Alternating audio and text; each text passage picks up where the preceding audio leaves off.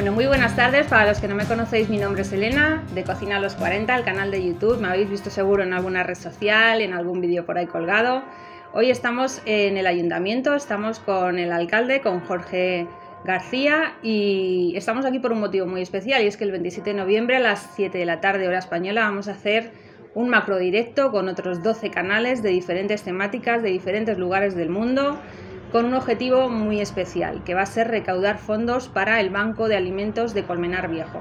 Entonces me pareció interesante eh, hacer una entrevista a la persona responsable y la sorpresa que yo me llevé es que el máximo responsable es el alcalde de Colmenar Viejo, al que lo primero que queremos agradecer es que nos haya hecho un hueco en su agenda. Jorge, muy buenas tardes. Muy buenas tardes, nada, un placer. Y además para dar a conocer el, el Banco de Alimentos, que bueno, yo creo que es responsabilidad mía porque al final la culpa de todo para lo bueno y para lo malo es del alcalde, pero al final es un proyecto en el que está involucrado mucha gente y que, bueno, pues que es un éxito gracias a, los ciudadanos.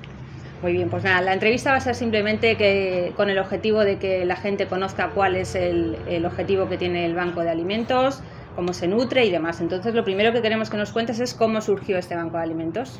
Bueno, pues el Banco de Alimentos surge en abril del 2020, en el momento pues seguramente más difícil de la de la pandemia fue donde detectamos que pues eh, había muchas personas que eh, bien porque no percibían prestaciones de desempleo o del ERTE pues estaban con una necesidad real de, de alimentación eh, tampoco podían pedir ayudas sociales porque estaban ya con la prestación concedida, por lo tanto sí que tenían eh, fuentes de ingresos. Y también detectamos que eh, las entidades sociales que en Colmenar Viejo pues atendían también a muchas familias y a muchas personas pues estaban quedando evidentemente al no poder salir a la calle, no poder recibir donaciones sin alimentos para poder hacer llegar a muchas personas que también pues desgraciadamente tiene una situación eh, socioeconómica desfavorable y que pues eh, se suelen atender.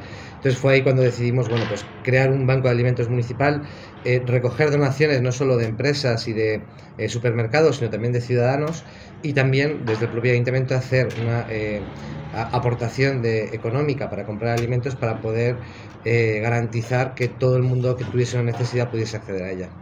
Vale, eso lo vamos a detallar luego, que te voy a hacer preguntas sobre ese tema. ¿A quién van dirigidas esas ayudas? ¿A través de qué entidades las organizáis un poco? Bueno, en, primer lugar eh, se suelen eh, repartir entre entidades sociales de Colmenar, se suelen repartir entre las tres Cáritas, entre el Comedor Social San José y eh, Cruz Roja. Todo se hace en coordinación con los eh, trabajadores sociales municipales para evitar duplicidad de ayudas o también analizar todos y cada uno de los casos, pero principalmente nosotros lo que hacemos es eh, prestar ese servicio a las diferentes entidades sociales que, que bueno, pues en Colmenar Viejo desarrollan una importantísima labor a través de su eh, red de voluntarios. ¿Y cómo se organiza ese reparto? ¿Cómo, ¿A través de quién lo hacéis? Normalmente ese reparto lo hacemos durante la pandemia fue más constante, ahora normalmente cada mes eh, pues las propias entidades sociales son las que nos dicen tenemos una carencia, pues a lo mejor de potitos, de leche, de determinados productos y es ahí donde normalmente ahora ya se actúa y todos los meses pues se envían esas necesidades que surgen. Evidentemente durante la pandemia eh, pues hacía falta de todo porque no había nada y evidentemente ahí se hizo un esfuerzo para llevar todo tipo de alimentación desde pañales a potitos, a lentejas, a filetes, en fin, todo tipo de productos. Ahora ya estamos centrados más en las necesidades reales que van teniendo, porque evidentemente y afortunadamente el número de personas que necesitaban esta prestación eh, bajó bastante y, lo que hacemos es cubrir la, demanda que, no pueden cubrir, entonces intentamos siempre que no haya ninguna necesidad. ¿Y qué tiene que hacer un ciudadano o una empresa, alguien que quiera donar eh, unos alimentos o una empresa que tenga un excedente de cualquier tipo de producto? ¿Qué tiene que hacer? ¿Dónde se tiene que dirigir para hacer esa donación? Bueno, para hacer donaciones se pueden hacer de diferentes maneras. Eh, mm, directamente eh, con una transferencia bancaria al propio ayuntamiento, a la cuenta de, es una cuenta municipal, es totalmente pública, es del Banco de Alimentos. Ahí se, hacen, se pueden hacer ingresos que puede hacerlo cualquier persona o cualquier empresa, cualquier eh, entidad. Eh, además, luego se emiten certificados de declaración fiscal para que se puedan sí, tanto las empresas como eh, los ciudadanos. Y luego, puntualmente, sí que organizamos recogidas de alimentos pero ya lo hacemos todo muy eh, centrado, porque como te decía ahora, no hay esa necesidad de hacer una recogida global donde te puedan donar todo tipo de productos. Ahora ya las necesidades son muy concretas, principalmente, por ejemplo, de productos que siempre hacen falta, como puede ser la leche, pero hay otros productos de los que sí que tenemos mucho stock o que sí vienen donaciones por otros eh, por otras vías y entonces eh, cuando enfocamos recogidas a pie de calle se enfocan ya para productos muy concretos. ¿El ayuntamiento tiene destinado alguna cantidad fija que también eh, reporta directamente al banco de alimentos o depende solamente de las donaciones? No, el ayuntamiento también compra todos los, eh, pues cada 3, 4, 5 meses vamos comprando productos por lo que te decía un poco antes, ¿no? por la particularidad de los productos. Es decir, pues hace un mes compramos eh, 10.000 litros de leche, ahora pues eh, creo que faltaban cepillos de dientes, tal. Cuando son cantidades eh, ahí no hay un límite presupuestario, es decir, cuando hay una necesidad se cubre y cuando vemos que, pues a lo mejor eh, el año pasado en estas fechas organizamos una recogida de leche para garantizar que durante pues 3-4 meses tuviésemos la, leche, pusimos un objetivo de 10.000 litros de leche que se, eh, se, superó porque la verdad es que los ciudadanos suelen ser muy solidarios y lo que vamos haciendo con los propios presupuestos municipales y con muchas de las donaciones que llegan al, al ayuntamiento pues es ir reponiendo todos los productos que hacen falta al respecto a lo que comentabas antes, a todos los efectos, tanto las aportaciones realizadas por transferencia como las que se hacen por pago con tarjeta, son donaciones, con lo cual el, el donante puede obtener, en el caso de que resida en España, un certificado para luego desgrabarse en su declaración de Hacienda. ¿Cómo tienen que hacer todas esas personas que nos den aportaciones si quieren obtener ese certificado. Sí, cuando lo haces por transferencia bancaria, eh, en, la, propia web del ayuntamiento te aparece ya los datos que tienes que rellenar, porque aparece tu nombre, tu CIF, eh, tu dirección y los datos que son necesarios para luego hacerte llegar, se suele hacer llegar o bien cuando se hace o con muy tarde, a los primeros días de enero, ese certificado que si es eh, persona física se puede desgrabar en la declaración de la renta, si es empresa en el impuesto de sociedad. Es decir, todas las eh, donaciones que se hacen, aunque somos administración pública, somos ayuntamiento, al ser para un fin social, sí que se pueden desgrabar. eso en el caso de que sea transferencia. ¿Y si es por tarjeta bancaria? Si es por tarjeta, va igual, porque se hace eh, se rellena el formulario que hay en, el, en, la propia página web, nos hace llegar al correo vamos arroba la copia del, de la, del pago con la tarjeta con sus datos y se le remite ese certificado fiscal. Vale.